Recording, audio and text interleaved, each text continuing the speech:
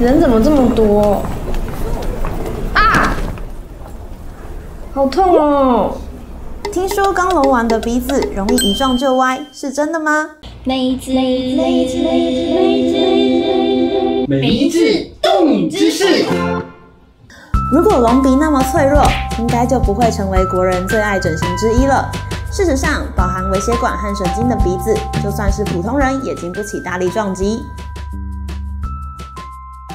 尤其恢复期间，植入鼻梁的假体根基未稳，更容易被外力、体质、生活习惯等影响。像是佩戴有框眼镜，容易压迫鼻梁；吸烟容易造成术后感染；有鼻过敏困扰的患者，植入细胶后会加剧症状；最后在打喷嚏、擤鼻子的压迫下，假体外露感染。追求方便快速。但你以为注射型隆鼻就安全了吗？脸部因为微血管众多，无法保证注射疗程完全没有风险。微整注射副作用轻则异物反应，严重可能造成淤青溃烂，甚至失明等意外纠纷。